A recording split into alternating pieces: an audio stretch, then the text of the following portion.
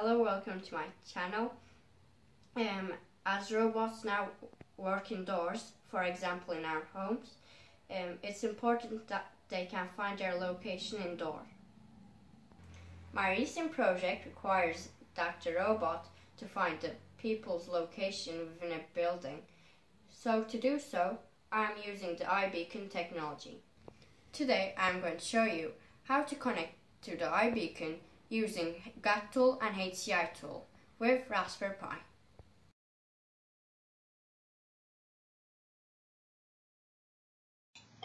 Okay, now I'm going to write the code. First, I'm going to download the BlueZ library. For doing this, I am going to write this code. This code gets the latest BlueZ source.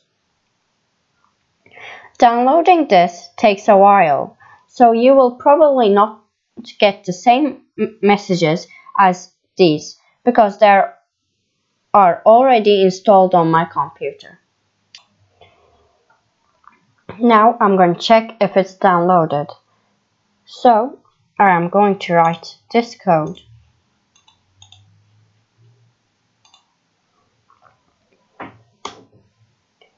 Okay, it's downloaded. Now I am going to extract the file that I have downloaded.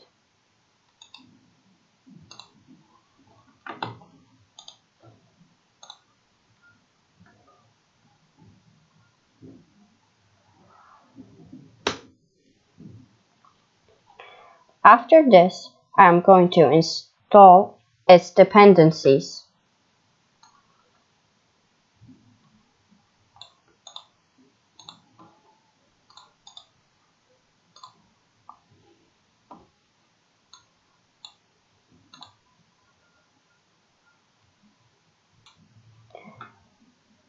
Now I am going to go in the file that uh, I have downloaded.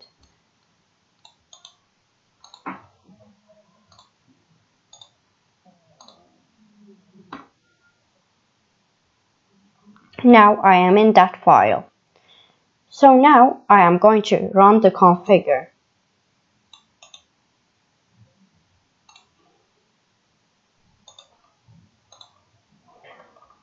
I am going to put a slash here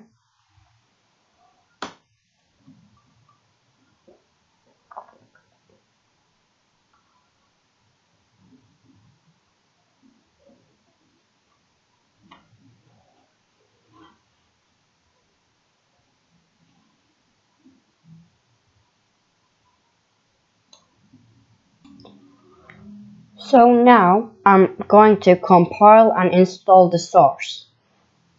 For doing this, I am going to write this code.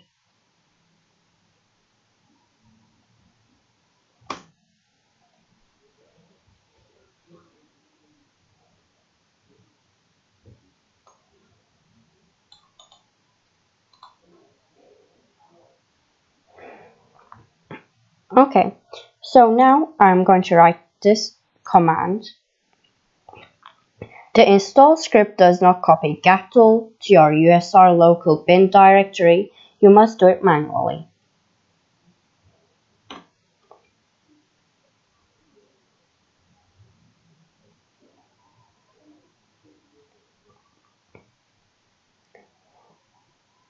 After this, I am going to go to the Raspberry Pi's normal file. So now I'm going to check if my hcitool can see my device. So for doing this, I am going to say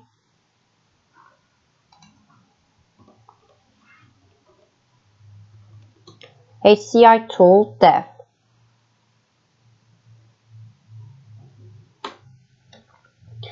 It saw my device. After this, I'm going to um, locate the devices near me. So for doing this, I'm going to say sudo hci tool plus scan. It's on my device.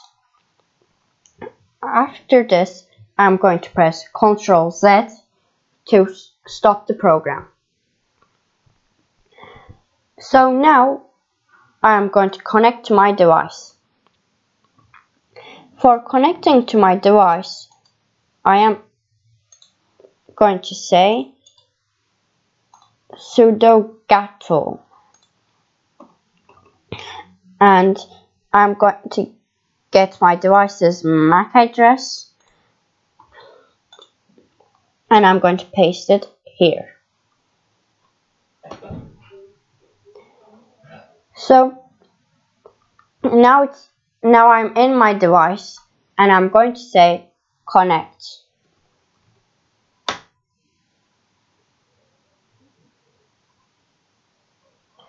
Connection successful. So I am going to look at my device's primary characteristics. So for doing this, I'm going to say primary.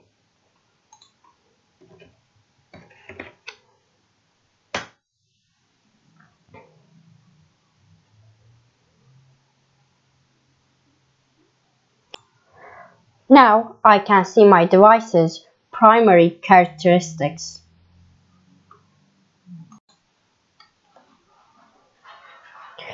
You can reach all these commands from my GitHub page.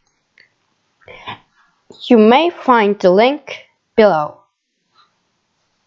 Thank you for watching my video. Don't forget to subscribe to my YouTube channel and please follow my social media